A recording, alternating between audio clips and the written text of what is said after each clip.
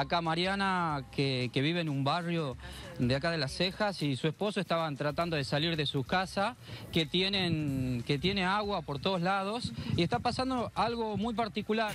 El gobierno eh, dice que hay solamente 100 personas evacuadas. El tema es que hay gente que no quiere salir de sus casas más que nada por el tema de la seguridad. Nosotros acá en, en Las Cejas estamos en un barrio que tiene por lo menos 15 familias eh, aisladas. Y bueno, con Mariana que nos contaba eh, fuera de cámara, la pasaron bastante mal, hace tres días que está lloviendo. Sí, allá y también nos inundamos, como digo, nos entró mucho agua, están saliendo muchos insectos, tanto víboras y los cien pies también. Y las aguas están muy con mucho olor, eh, muy contaminadas, están las aguas que están muy aceitosas y está mucho olor a podrido están viendo que los pastos están quedando manchados como con aceite. Ahora, Mariana, esta que estamos viendo, esta que está en pantalla, ¿es tu casa? sí, esa es mi casa. La primera, esta es mi casa y eh, tenemos agua todavía ahí dentro. El pozo del baño se cayó la tapa, salía todo el agua desde el pozo del baño. Y tenemos, eh, como, como digo, los niños menores, eh, tengo mi hijo discapacitado. Yo también soy discapacitada de invalidez y estamos con agua. Hay personas de allá, este, ancianos y discapacitados también que tuvieron que pasar al frente. También están inundados que ellos no pudieron todavía sacar el agua de sus hogares. ¿Sabés cuántas familias están afectadas acá en Las Cejas por lo menos?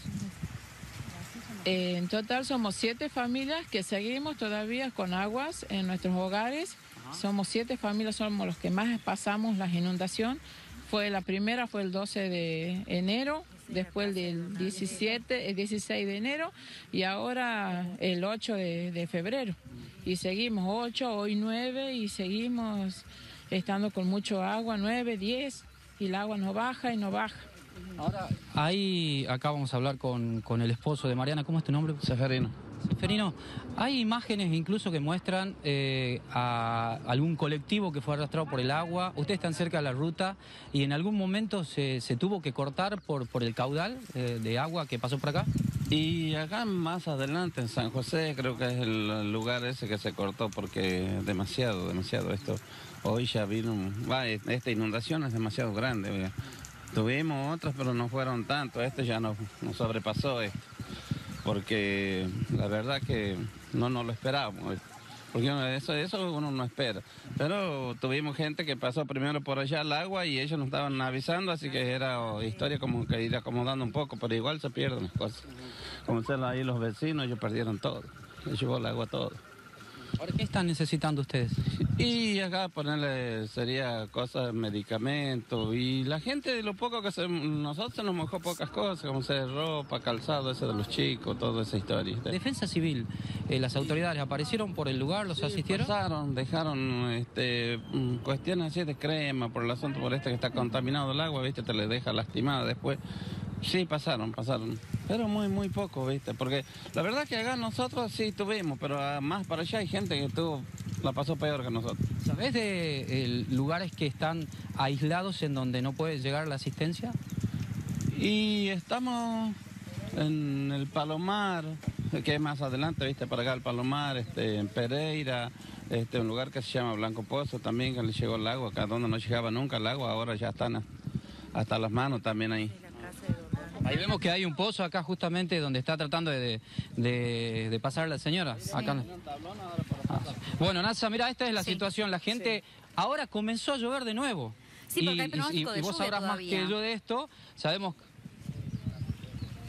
Claro, hay pronóstico de lluvia. Eh, eh, si bien es una lluvia tenue, es una llovizna constante, la gente está haciendo esto, mira, fíjate, eh, no deja sus casas y sale como puede, sale como puede. Hay una zanja, ahí hay un pozo en ese lugar justamente en la entrada de, este barrio. Claro, hacen una suerte de puente. Como vos decías al principio, ¿no? Quizás son, son tantos los lugares que están inundados que antes no se inundaban, o por lo menos no de esta manera, que los sorprendió el agua y quizás las autoridades no dan abasto. Ahora tenemos información, NASA, que también en la zona de Simoca, el sur de Tucumán, donde todavía este, no, no ha parado la, lluvia, el agua llegó a los pueblos y ahí sí hay asistencia de parte de Defensa Civil, el gobierno, el Ministerio de Salud, que informó que están los CAPS, o sea, los lugares donde, donde hay asistencia primaria de salud, están abiertos las 24 horas. A ver, vamos a acercarnos un poquito. Vamos a acercarnos un poquito y preguntar. bueno, salen como pueden. Sí, como se puede, como, como están viendo. ¿Dónde vivís vos acá en el Sí, ahí al frente, pero está lleno de agua, así que estamos en la casa de mi hermano. ¿Qué pasó? ¿Desde cuándo comenzó a llover? ¿Desde cuándo? Viernes. ¿El viernes? El jueves a la madrugada, digamos, el viernes a la madrugada, empezó a llover eh, y bueno, se me inundaron, yo vivo para allá más atrás y este, y bueno, este, está toda la casa llena de agua, la de nosotros. No, yo me empecé a inundar más primero y después, bueno, ya descendió más para allá el agua. Pero no se puede, acá estamos alzando las cosas arriba, este, nos trató de alzar para que no se nos moje la heladera. Ellos sí se le ha mojado, dice al freezer, la heladera y los colchones se le mojó a ellos. ¿Tuvieron en algún momento que salir a la, ruta? ¿Fue, digamos, el caudal siguió subiendo ustedes? Sí, no, no, siguió subiendo. Ayer todo el día subió más, mi casa subió más y más. Tratamos de alzar más arriba las cosas, pero subió más. Pero gracias a Dios, bueno, estamos bien. Por lo menos estamos bien, gracias a Dios. Por lo menos este, no, no llegó a mayores, pero gracias a Dios estamos bien. ¿Asistencia están teniendo? no sé, acá nosotros para Sí, los vecinos, de los vecinos nada más, de los chicos que me mandaban, de unos amigos que me mandaban, pero de nadie más.